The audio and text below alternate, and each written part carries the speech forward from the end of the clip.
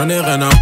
Action Hi guys, j'espère que vous allez bien, que vos projets se portent bien. Si ça va pas, ça ira par la grâce de Dieu. Alors aujourd'hui, nous sommes réunis pour une nouvelle vidéo. J'aimerais vous parler des médicaments de base d'un drépanocytaire. De base, c'est-à-dire les médicaments qu'un drépano doit avoir en tout temps et en tout lieu avec lui. Alors, euh, avant de commencer cette vidéo, je vais vous prier de déjà vous abonner, d'activer les cloches de notification pour ne manquer aucune de mes vidéos, de liker et surtout, surtout, surtout de partager parce que vous savez, c'est vous ma force. Alors, concernant les médicaments de base d'un trépano, je vous ai expliqué, ce sont des médicaments qu'un trépano doit toujours avoir sur lui. Mes petits rappels, j'aimerais vous faire comprendre déjà que c'est Dieu par le Seigneur Jésus-Christ qui guérit toute maladie. On va parler de ça dans une autre vidéo, mais à la lumière de ce que je connais et de mon expérience personnelle, je vais vous montrer mes produits de base. Le premier, premier remède trépano, c'est l'acide folique. Pourquoi l'acide folique? Parce que l'acide folique, c'est différent du fer.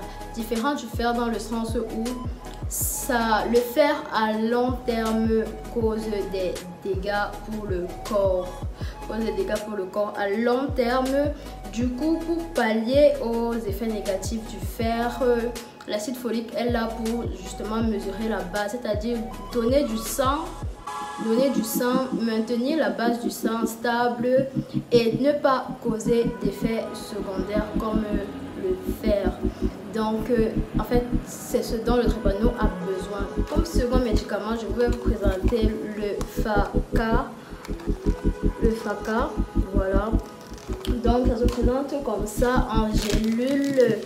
En gélule, ça dépend de la posologie que vous prenez. Ça se présente comme ça. Alors, le FACA, c'est un anti-falsémiant.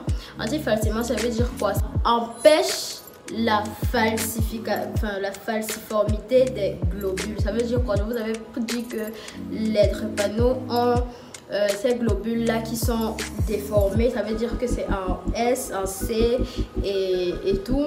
Donc le FACA est là pour freiner en fait... Euh, pour freiner en fait euh, la production de ces globules déformés là. Donc le FACA produit quand vous êtes, vous êtes en train en traitement du FACA, ça empêche la déformation de vos globules. Autre que le FACA, il y a euh, l'hydroxyurée. L'hydréa, c'est un dérivé de l'hydroxyurée qui compense justement la mutation survenue. Ça veut dire euh, le manque là d'oxygène là euh, que nos globules ont. L'hydréa est là en fait pour compenser cela et en fait nous redonner des globules de bébé, des globules fœtales. Fœtales, c'est genre dans le ventre de notre mère. Oui, pour nous redonner ces globules-là. Hydrea peut agir autrement selon les, les trépanos. Je me suis déjà entretenue avec d'autres trépanos qui se plaignent du fait qu'en fait Hydrea euh, les, aide juste à, réduire les inflammations lors des crises. Nous avons aussi les vasodilatateurs. Euh, les vasodilatateurs, c'est pour faire justement passer l'oxygène et relaxer les muscles pour que en fait le sang vienne trouver un endroit propice pour passer et non un endroit crispé euh, qui ne favorise pas le passage, son passage. Donc les vasodilatateurs pour moi c'est aussi primordial. Euh, moi, comme vasodilatateur, j'utilisais Praxilène et Tanakan aussi pour euh, le stress quand je faisais une crise, justement pour euh, passer directement la crise. Donc vraiment, je vous souhaite aussi d'avoir euh, soit Tanakan, soit Praxilène ou dans le meilleur des cas, les deux. Ça va dépendre de ce que votre médecin va vous dire. Mais les vasodilatateurs, ce sont des médicaments aussi de base pour un trépano. Et le dernier médicament que je voulais vous présenter, bon pas le dernier, l'avant, l'avant, avant, avant, avant dernier. Médicament, bref, que je voulais vous présenter, c'est hum, ceci. Il euh, n'y a plus le nom parce que c'est parti, quelque chose s'est passé là, je sais mais je vais vous mettre le lien du médicament en bas de description. C'est euh, un médicament, cal, cal, vous voyez bien, calcium, citrate, magnésium, zinc, vitamine B, D3. Donc c'est un médicament euh, vraiment cute parce que en fait il y a tout, euh, il y a tous les tous les, les, composés des, des, os, on va dire ici. Genre, il y a le magnésium, le magnésium qui renforce vraiment et tout. Il y a le calcium aussi qui renforce aussi l'os, en fait, qui donne plus de tonus, qui reconstruit. Le zinc, euh, c'est un composant aussi inévitable des, des os. Et de base, c'est pour les articulations fortes. Et en deuxième, vous voyez là, on met mais reduce risk of osteoporosis. Ça veut dire que ça réduit littéralement les risques d'ostéoporose. On avait parlé d'ostéoporose dans la vidéo précédente, dans l'une des vidéos précédentes. Et vous avez dit que l'ostéoporose, en fait, ce qui vient là, euh, ça détruit carrément un euh, une articulation, un os. Je vous demande pas de prendre automatiquement ça ou bien de prendre automatiquement ce que je vous ai cité. Il y a d'autres noms pour ces médicaments. Par exemple, il y a d'autres dérivés euh, pour euh, un mélange de calcium, de fer, magnésium. Vous pouvez juste prendre ça. C'est juste le contenu qui compte du moment où ça contient ce qui peut nous aider. Moi, je dis oui. nous avons aussi aussi, je sais même plus quand, quand j'aime, c'est...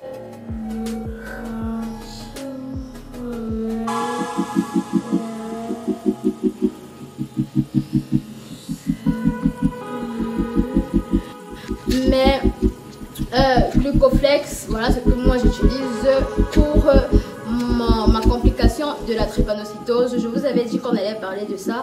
Mais pour la complication de ma trépanocytose, moi j'utilise Glucoflex. Pourquoi? Parce que Glucoflex est composé de, euh, euh, sulfate de glucosamine. La sulfate de glucosamine, c'est vraiment quelque chose qui lutte contre l'arthrose. Ça veut dire contre la douleur exagérée d'un membre de l'organisme. Et non seulement ça lutte et ça régénère en fait l'os parce que je vous ai dit, euh, il y a des complications de la drépanocytose et moi j'ai subi plusieurs complications et pour pallier à l'une de mes complications contre la drépanocytose, moi j'utilisais le Coflex. Franchement, au bout de deux semaines à un mois, tu ressens les, changements dans euh, ton organisme par rapport à l'organe touché, à, euh, à l'os touché. Ça stoppe la dégradation en fait ça stoppe l'effritement de l'os là, de la partie de l'os qui est attaquée. Et vraiment, Glucoflex, ça aide. Je ne vous demande pas, je fais pas les pubs. On ne me paye pas pour faire les pubs ici. Mais en fait, je veux juste vous montrer les médicaments que moi j'utilise et qui m'aident beaucoup. Et, et c'est tout ce que je vais, je vais vous Alors, euh, aussi un médicament de base qu'il ne faut toujours pas négliger parce que nous, les trépanos, on a tendance à négliger cela, surtout en Afrique, c'est l'antipaludéen. Il y a des théories qui disent que le est résistant au palu. Je ne dis pas que c'est faux, mais avec moi, ça ne marche pas comme ça. Donc, euh, pour moi, si vous êtes comme moi, que ça ne marche pas comme ça avec vous, le palu, ça vous prend toujours. Je vous prie d'avoir un antipaludéen, pas forcément ceci, mais un antipaludéen tout le temps avec vous et tout. Et un autre médicament, bon, ça c'est pas un médicament, mais c'est un bonus. Un autre bonus, c'est le baume. Le baume moi, en fait, tout trépano doit avoir un baume, juste euh, un baume pour déjà la respiration et un baume pour les articulations. Voilà mon baume la respiration ici, ici, Colbaume. C'est pas forcément Colbaume que vous pouvez avoir, vous pouvez avoir d'autres baumes contre la respiration VIX et tout. Vraiment, pour moi, il faut toujours avoir un baume contre la respiration. Quand la respiration commence à déranger, et il vous faut un baume pour les articulations. Ici, c'est Royal. Peu importe où vous achetez vos baumes, il faut prendre un baume pour la respiration et un baume pour les articulations. Ça aide aussi vraiment beaucoup. Alors, nous sommes arrivés au terme de notre vidéo qui parlait des médicaments de base d'un trépano. Alors, j'espère que la vidéo vous aura plu. J'espère que euh, je, vous, ai éclairé d'une manière ou d'une autre. Et euh, si vous avez quelque chose à me dire, n'hésitez pas, n'hésitez pas à me le dire en en commentaire. Ça va vraiment me faire plaisir d'apprendre aussi de vous. Parce que vous savez, vous et moi, nous devons faire quelque chose de beau contre la drépanocytose. Bisous alors j'espère que cette vidéo vous aura plu. On se dit à la prochaine pour une nouvelle vidéo. Paix et grâce sur vous. Amen.